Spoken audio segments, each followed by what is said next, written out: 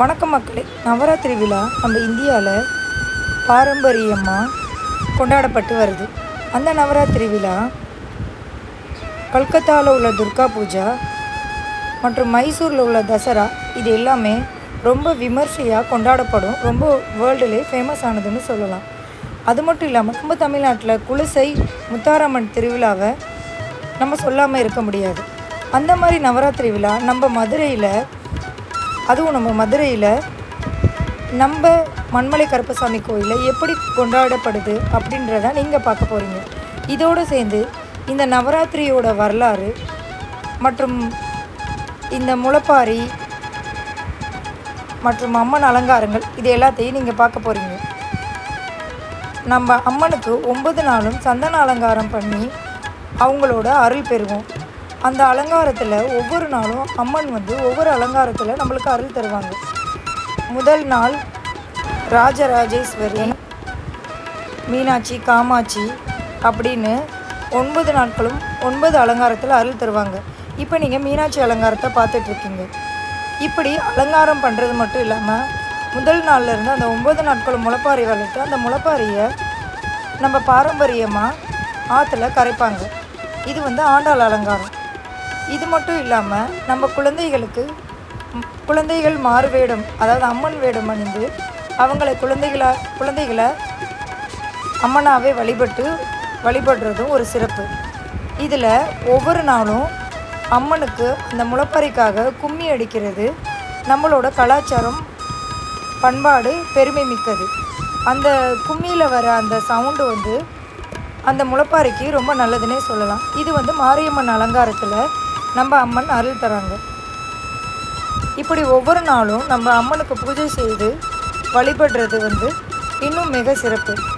இதில் வந்து நம்ம குலசை தசராவில் வந்து ஒவ்வொரு வருடமும் அந்த காளியம்மன் வேடம் அணிந்து வர்றது ரொம்ப சிறப்பாக இருக்கும். வந்து முளைப்பாரி நம்ம ஆற்றுல கரைக்கிறதுக்கு முன்னாடி மூணு நாள் முன்னாடி அம்மனுக்கு எடுத்து வைப்பாங்க. அதை நீங்கள் பார்த்துட்ருக்கீங்க அது வரைக்கும் அந்த முளைப்பாரி வளர்றதை யாருமே பார்க்க மாட்டாங்க. அன்னைக்கு வந்து பஜனை பாடி சாமி பாடல்கள் எல்லாம் பாடி அந்த அம்மனை வந்து சிறப்பித்து மாரியம்மன் அலங்காரத்தை அன்னைக்கு குழந்தைகளுக்கு அம்மன் வேடம் அணிகிறது இன்னும் ஒரு வகையான சிறப்புனே சொல்லலாம். நம்ம குழந்தையும் தெய்வமும் ஒன்று அப்படின்னு சொல்லுவோம். அப்படிப்பட்ட அந்த குழந்தைகளுக்கு அம்மன் வேடம் அணிந்து அவங்கள இன்னும் சிறப்பாக பார்க்கறது இன்னொரு சிறப்புனே சொல்லலாம். இது ஒவ்வொரு வருடமும் நம்ம மதுரை மண்மலை கருப்பசாமி மண்மலை மேடு மண்மலை கருப்பசாமி கோயிலில் நடந்துகிட்ருக்குது இன்னும் சிறப்புனே சொல்லலாம். அந்த குழந்தைகள் எல்லாம் அந்த அலங்காரத்தில் பார்க்கும்போது அடுத்தடுத்த ஜென்ரேஷனுக்கும் நம்மளோட பாரம்பரியத்தையும் கலாச்சாரத்தையும் சொல்லிக் கொடுக்குற சிறப்பு. இப்போ நீங்கள் பார்த்தீங்கன்னா குலசையில் நடக்கிற அந்த தசரா மாதிரியே அழகாக குழந்தைகள் எப்படி துர்க்கை அம்மன் வேடம் அணிந்திருக்காங்கன்னு பார்க்கலாம். அப்புறம் பஜனையோட அன்னைக்கு அந்த விழா சிறப்பாக நடைபெறும். இந்த முளைப்பாரியை ஒவ்வொருவரும் எடுத்துட்டு அந்த பக்தியோட அந்த கும்மி அடித்ததுக்கப்புறம் அந்த ஊரில் உள்ள இடங்களை அந்த அம்மனை வேண்டிக்கிட்டு இந்த குழந்தைகளோட அம்மனோட அலங்காரத்தோட சுற்றி வருவாங்க. அதை சுற்றி வந்ததுக்கப்புறம் மூணாவது நாள் ஆற்றுல அந்த முளைப்பாரியை கரைப்பாங்க. இந்த முளைப்பாரியை பற்றி நம்ம தெரிஞ்சுக்குவோம் இப்போ. இந்த முளைப்பாரி நம்ம தமிழர் பண்பாட்டோட ஒரு பெருமைன்னு சொல்லலாம். புரட்டாசி மாதத்தில் இந்த நவராத்திரி விழாவில் இங்கே இந்த முளைப்பாரி வளர்த்து அம்மன் வழிபடுறாங்க. நிறைய கிராமங்களில் இதுக்கே ஒரு தனியாக குடில் மாதிரி அமைச்சு அதை தனியாக அதை நல்ல விரதம் இருந்து முறையாக அதை பின்பற்றி அதுக்கு தனியாக வளர்ப்பாங்க அந்த முளைப்பாரியை.